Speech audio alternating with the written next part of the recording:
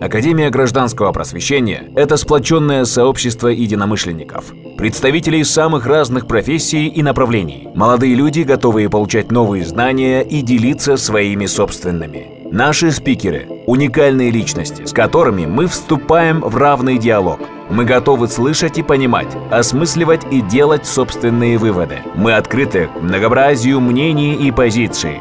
Мы провели три сессии, каждая по четыре дня. Мы стали командой и даже семьей.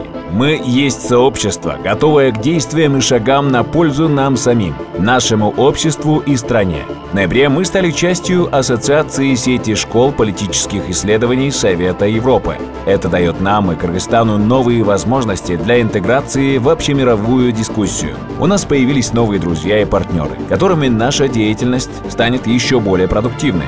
Мы есть сообщество, готовое к действиям и шагам на пользу нам самим, нашему обществу и стране. В ноябре мы стали частью Ассоциации сети школ политических исследований Совета Европы. Это дает нам и Кыргызстану новые возможности для интеграции в общемировую дискуссию.